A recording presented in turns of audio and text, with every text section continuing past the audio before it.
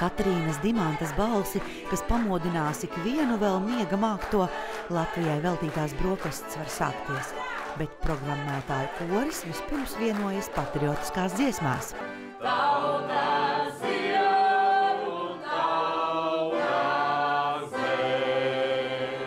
ZZDATS ir simtprocentīgs Latvijas uzņēmums un viens no lielākajiem IT uzņēmumiem valstī. Nodarbina 200 darbinieku. Paši atzīst, ka programmētāji nav uz sarunām un draudzēšanos vērstākā profesija.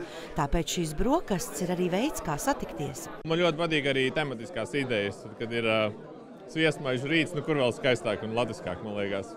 Ļoti. Programmētāji nav tāda ļoti noslēgta tauta.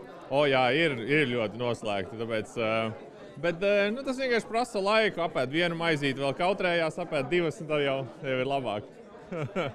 ja vēl kaut ko pa datoriem var parunāt, tad jau aiziet. Toreiz tas bija kā joks, kā mēģinājums.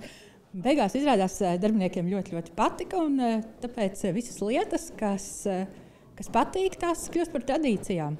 Šī gada lepnums esot izstrādātā dziesmu svētku aplikācija svētku dalībniekiem, tagad uzņēmumā programmē onkoloģisko pacientu reģistru. Gada laikā radītas 242 jaunas aplikācijas. Tas ir tā nu, nu, neizsakāmi dvēseliski mīļi, ka tiešām mēs varam dzīvot eh, brīvā valstī strādāt savai valstī, dot valstī kaut kādu labumu. Un, nu, mēs to nosvinām ar tādu latviešu sviesmaizi.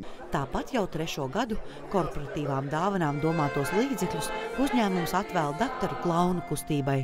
Sadarbības partneri paliek bez Ziemassvētku konfekšu kārbas, tā vietā slimnīcā pasmaida kāds bērns. Aiki Insolovs Perševits, Latvijas televīzija.